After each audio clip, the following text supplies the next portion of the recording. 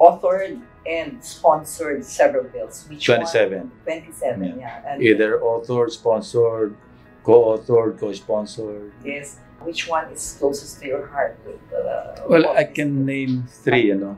Okay. The Anti-Red Tape Act. This was in the 13th Congress. Uh, bago senador pa lang ako. And then the National ID System. This was in the uh, 17th Congress. Medyo recent. And then the 18th Congress, yung Anti-Terrorism Act. Quite controversial, but uh, at least yung tatlo yung sa tingin ko, landmark legislation.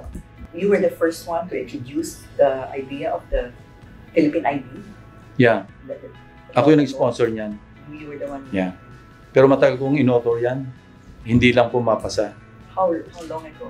Well, as far back as 2001, when I first became a senator, I was already advocating.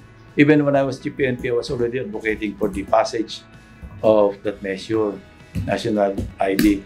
Not only to uh, to aid law enforcement, ano, that's just a secondary purpose. Actually, ito yung uh, mag, magpapa-efficient ng public uh, service ng, ng gobyerno. Imagine if you have only one uh, singular ID. That's when I realized, hindi lang para pang law enforcement ito. There are more for, more important uh, uh, benefits no, para sa mga tao. Anti-red The tape. red tape, yes, that one. Ito talagang nilabang ko rin ito kasi when I was chairman of the Committee on Civil Service and uh, Government Organization, uh, in-author ko and sponsor ko yung anti-red tape app.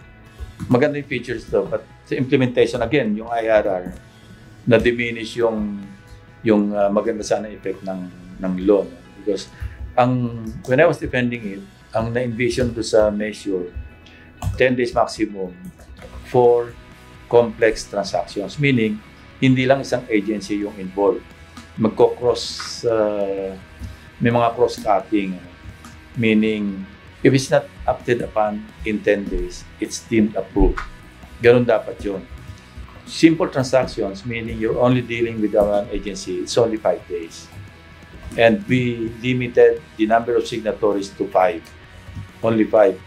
Uh, yung anti-terrorism, uh, Very controversial. very controversial because uh, some people, some sectors uh, made it look that way, no, controversial.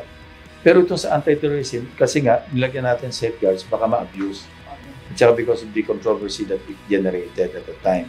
So nilagyan namin ng mga safeguards. So you had you had authored 27. 27. Either authored, sponsored, co-authored. Ito yung mga napas na, naging batas na. But more than that, ako ay I had actively participated in the deliberation of the budget, yung annual budget, yung General Appropriations Act. Yes. Very, very active ako dyan. And bilang. Yeah, kasama yun. No? Kasama yun sa budget. The, the privilege speech that I delivered was in March of 2003. 10 years before the Napoles uh, controversy uh, blew up in our faces. Ano? Yeah. Kaya nga tinanong ako noon, how could you foresee that such a thing would happen? Yung Napoles, ano? yung PIDAP. Uh, yung DAP, ano? DAP and uh, PIDAP. Sabi ko, no, I didn't foresee that. I only knew that it was wrong then and it's wrong now. I'm not availing. So, So, ang last amendment sa General Appropriations Bill, reserved talaga sa akin yan. I made sure na tanggalin sa budget para hindi pa kinabahan ng iba. and all throughout your three terms, you did not have that. Never. Kasi what moral ascend- ascendancy would I have to question the pork insertions of the other legislators, whether it's House or Senate, kung meron akong pork? Very consistent ako rito since I was a police officer. Yung aking uh, personal credo, what is right must be kept right. What is wrong must be set right. Uh, nawala yung kotong sa kalsada. Yun ang talagang one thing that I can be proud of talagang the cotton cups uh, were gone.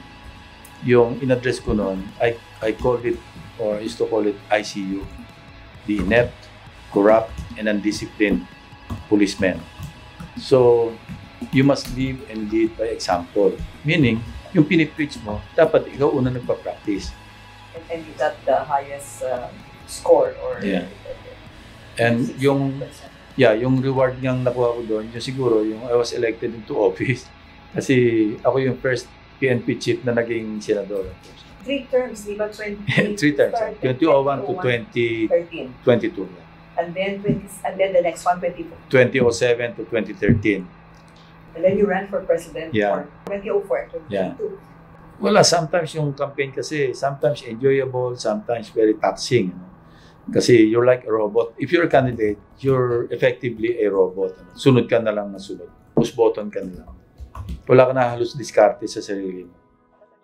Well, when I graduated from the Senate on June 30, Yes. that was my last uh, day as a senator.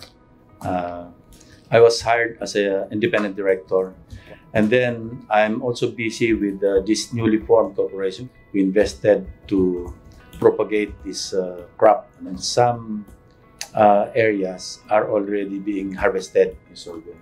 Pero just like any other new venture, may mga bird pains. We're still hopeful na we can catch up and gain profit from it. Aside from, of course, helping the farmers in the interlands. Where do you go from here? Well, right now, I'm enjoying life as a private citizen. And uh, I have not thought or even thinking and thinking of uh, running or returning to public uh, office. That's where I stand now. I'm enjoying, I'm enjoying life. And I want to continue to enjoy life as it is now. There are so many unfinished business actually.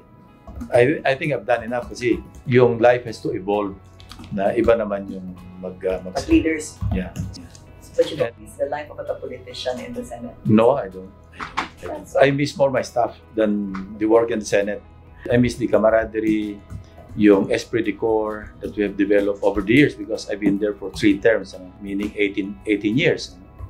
Uh, nagkaroon ng break but some of them I also uh, hired as consultants or staff during the OPAR. But somebody who served the country for 52 years has just got went back to farming. yeah, yeah. yeah. Yeah, yung daw peace and quiet, yun ang life's most precious reward.